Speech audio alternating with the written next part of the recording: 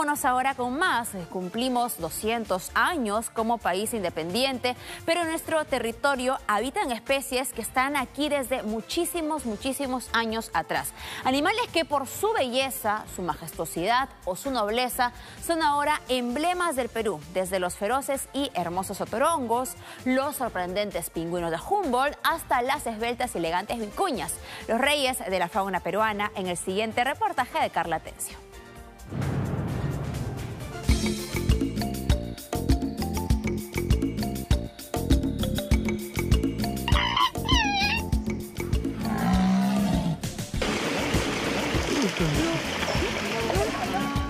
Velocidad del nado de estos pingüinos de Humboldt.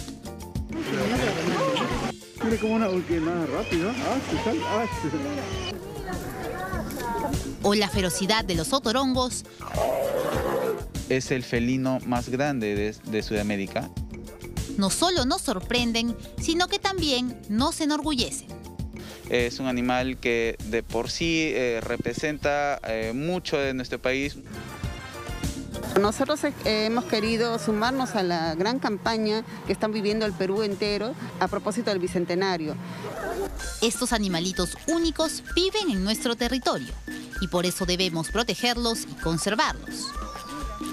El tapir amazónico, el oso de anteojos y la vicuña son sin duda emblemas de nuestra preciosa fauna del Bicentenario.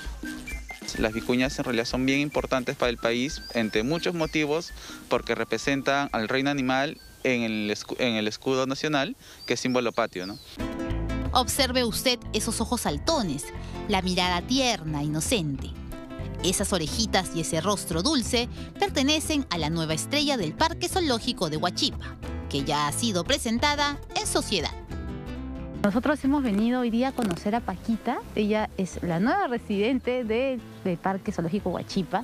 Ahí la vemos entre su mamá, su papá, su hermana y una llamita que también se ha decidido a protegerla en esta visita. Apenas logramos verla, pero es realmente hermosa. Tiene poco más de un mesecito y sin duda es la nueva representante del Bicentenario aquí en el zoológico. Y hemos creído por conveniente justamente presentar a nuestra nueva integrante de la exhibición de camélidos sudamericanos, que es Paquita. Esta pequeña nacida luego de 11 meses de gestación es la nueva estrella de la exhibición de camélidos sudamericanos, integrada por especies consideradas patrimonio natural de la nación. Blanca, la hermana mayor de Paquita, y su mamá Estela no se separan de ella ni por un instante están decididas a protegerla, incluso de nuestra mirada. Su padre, don Romero, de mayor tamaño, tampoco se aparta. No, la alimentación es diferente a la parte altina de donde tiene. Mayormente en la parte altina es con puro hicho y pasto natural.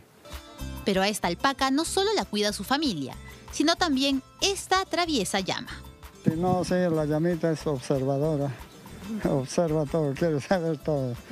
Así es. Y la vemos bien protectora con Paquita. Ya, Paquita está bastante protectora, tranquilo, normal, y solamente está manteniendo su mamá. Pues. Paquita, como toda alpaca, tiene patitas acolchadas y un peso ligero. Pertenece a la misma familia que la vicuña, que es un auquénido silvestre más pequeño, de delicada figura que está presente en nuestro escudo nacional. La vicuña tiene la fibra más fina y valiosa del mundo. Aquí vemos una un tantito malhumorada, aunque en estas imágenes no lo parezca. Ella completa la exhibición imperdible del zoológico de Huachipa. No olvidemos que la vicuña estuvo en riesgo de extinción, por eso hay que seguir preservándola. Cuando un animalito es sacado de su hábitat es muy difícil hacerlo regresar. El osito pandú, un osito de anteojos perdió a su madre debido a la caza en San Ramón, Junín. Felizmente las autoridades pudieron actuar pronto y lograron darle una segunda oportunidad. Nosotros conocimos hace algunos años a Pandú. Pandú es un osito de anteojos que fue rescatado. Lamentablemente estaba en una situación terrible. Estamos aquí con Luis Ramos, él es su cuidador. Pandú ya ha crecido. Nos va a contar un poquito cuánto tiempo tiene ahora y qué es lo que vamos a hacer con él. Pandú vino acá a los tres meses, ¿no? Vino así eh, chiquitito, ¿no? Pero bueno, ya fue pasado por los veterinarios, por los especialistas y bueno, y se pudo conservar en buen estado. Como es juvenil, eh, está todo el día activo buscando comida o queriendo hacer algo, ¿no? Eh, le ponemos enriquecimiento, le ponemos bidones con miel, troncos con miel. Eh. Pandú va a cumplir cuatro años en octubre. Las manchas blancas alrededor de sus ojos, como en todos los ositos de anteojos, son marcas faciales únicas que sirven para identificarlos. Son casi como huellas dactilares. Su carita es inconfundible. Sus cuidadores realizan actividades denominadas de enriquecimiento ambiental con él. Aquí, por ejemplo, le han colocado frutas dentro de esta llanta para retarlo a sacarlas y alimentarse. Así usa más energía. Pandú está contento con el regreso un poco de las personas que ya van viniendo, por supuesto, en el aforo respetado. Sí, sí, sí, bueno, yo he notado, porque cuando no había público, como que Pandú se notaba aburrido, eh, se iban cosas, a pesar de los enriquecimientos que se, se hacía, Pandú estaba, no, mayormente le vi echado. Ahora que veo como que interactúa con el público, el público mira, mira y se para, se hace, no, se para, camina y vas a ver, lo llamo un ratito. Si se sostiene en dos patas, mide cerca de un metro setenta. Aún le falta crecer un poco más. Sus garras curvadas le permiten trepar. Su hocico es más corto que el de otras especies de osos. Eh, vamos,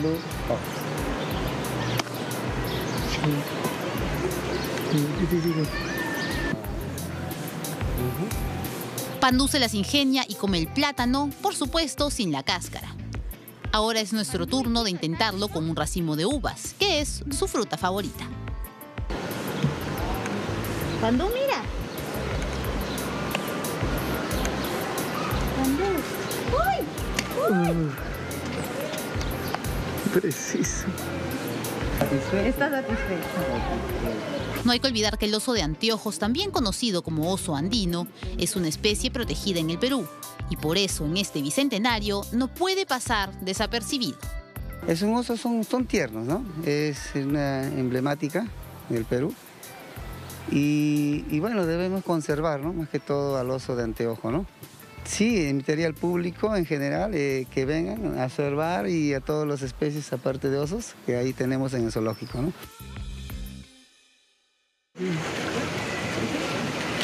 Pero los miembros más juguetones del zoológico y también los más románticos son los pingüinos de Humboldt. Esta ave monógama también es tímida y normalmente habita las zonas del Océano Pacífico donde recorre la corriente peruana o de Humboldt. ¿Y con qué destreza nada? Como nada, hijita. Mira como nada, porque nada rápido. Ah, salta, ah, salta todavía son, son veloces en el agua, ¿no? Es como que si estuviesen volando, pero es en el agua, son muy veloces. Lo vimos hace un ratito y verdad, hasta como que saltan, ¿no? Sí, sí. Esta es una temporada especial para los pingüinitos. Están en temporada de reproducción. Eh, ya, ya sus crías ya, salieron del huevo, ya coleccionaron ya los huevos. Eh, tienen aproximadamente un mes ya de nacido y pues la mamá, los padres se encargan de, alimentarlos, ¿no? Se turna la hembra con el macho, ¿no? Se turna para alimentar a sus crías. Aunque no logramos verlos totalmente, sabemos que hay mucho amor en estos nidos para sus pequeñitos. Hoy en día los pingüinos de Humboldt continúan siendo especie vulnerable. Algunas familias muestran a sus hijos e hijas la vivacidad de estos animales. ¿Y en los pingüinitos de fútbol le han gustado entonces? Sí, y eso que no has visto el lobo, ¿no? La nutria, emocionada, ya hemos grabado y todo. ¿Qué otros animalitos peruanos han podido ver en este recorrido? De repente las llamitas, las alpaquitas, la, nutria. gigante de la selva, el lobo marino. Recién estamos empezando el giro. Y pues ya está, está bonito, está bonito. ¿Algún animal en particular peruano que les gustaría ver? El, el oso de anteojos. Y después nos vamos al Parque de las Leyendas, en San Miguel, donde se divierten por igual grandes y chicos al ver animales que viven en nuestro país. Y él está conociendo recién, porque tiene recién dos años también. Mire, el cóndor, ¿te gusta el cóndor? Ah, ya. Es un cóndor del Perú, ¿sabes? bueno, conocer un poquito más de nuestra naturaleza del Perú mismo y es más interesante cada día. ¿no? Hay, animalitos acá, por ejemplo, que, podríamos decir casi del bicentenario, como la vicuñita que está en nuestro escudo nacional. ¿Qué otros animales ha podido ver hoy día de los peruanos? Hasta el momento, los, monos, la parte de, de acá de la selva, el famoso tapir, en este recorrido por la zona selva, los movimientos del otorongo, el mayor felino de América del Sur, nos atrapa. Esta hembra se lame, avanza y se rasca. Quien tenga un gato en casa reconoce a la perfección estos mismos movimientos en sus meninos. Eh, aquí puedes ver el grupo de hembras, ¿no? Son Kina y Lucía, ¿ya? Estas, estas hembras, si te das cuenta, son de distinto color. Una es un otodón amarillo y otra es un melánico. En el caso del otodongo melánico es un tema genético de un alelo dominante que hace que sea, hay esta variación de color. Eh, una característica del otodongo, si puedes ver en la piel, son la presencia de rosetas. Pero en el caso de un melánico no es que sea totalmente negro, sino que sí las tiene, pero en una coloración un poco más y menos intensa. Si tú te fijas bien, puedes notar las rosetas. ¿Te refieres a estas manchas y dentro de las manchas que tienen una segunda mancha, digamos? Exacto, sí. O sea, vas a ver que a diferencia de otros felinos de otros lugares, no tienen estas manchas, pero dentro de las manchas del otodongo puedes ver unos puntos, ¿no? El otorongo vive solitario en los bosques húmedos, selva y zonas pantanosas. En el Perú lo encontramos en Tumbes y Piura y posee unos gruesos dientes para poder triturar su alimento. Del salvaje otorongo nos vamos a una especie amigable y menos conocida. Seguimos recorriendo la zona de selva y hemos llegado hasta aquí donde está el tapir amazónico. Es la primera vez que veo esta especie. Ella es Dominga, es una hembrita, tiene 13 años. Franklin nos va a contar más al respecto. Franklin, cuéntame un poquito sobre Dominga. Dominga, bueno, Dominga es una hembra que aproximadamente tiene 13 años. Ella es la, madre de dos, dos hembras más que tenemos en el parque. Así que es una, es una tapir súper amigable, como ustedes pueden ver. estamos muy cerca y en realidad ya está muy tranquila. Ya es tranquila. En realidad le, encanta que, que, le acaricie por, esta, por todas partes. A Dominga le gusta comer camote y mide casi dos metros de largo. Para tener a sus crías pasó por un periodo de gestación de más de 400 días. Estos animales pueden vivir hasta por 35 años. Bueno, la vemos en verdad bastante tranquila, hemos podido acercarnos a ella bastante y me gustaría que me cuentes tú, Franklin, ¿cómo, ¿qué te parece que, podamos venir y conocer los animales? Y es que si no los conocemos a veces no los podemos preservar, no los podemos cuidar. Sí, lamentablemente por el tráfico ilegal de animales y todo eso. Y recordarle al público que ellos no son mascotas, ¿no? Ojalá que en este bicentenario se, acabe, ¿no? Se acabe la caza ilegal. Espero que sí, ojalá, eso deseamos todos, los que amamos a ellos como seres que son.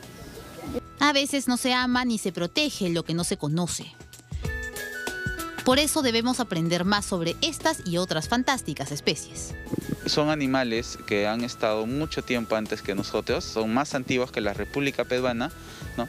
y es una integración, ¿no? por eso debemos conocerlos. De repente, si no sabemos los nombres científicos o si no sabemos muchos datos, podemos venir acá al zoológico donde podemos eh, conocer más sobre esta especie. Es un lugar donde uno, no solo la vicuña, sino los demás animales eh, que representan esta fauna, y podemos saber más sobre ellos acá. Es importante preservar básicamente porque es parte de esta fauna y debemos cuidar siempre la naturaleza, y es algo que intentamos hacer en estos lugares como en el Parque de las Leyendas. En este bicentenario cuidemos a los animales y sobre todo a la fauna autóctona del Perú.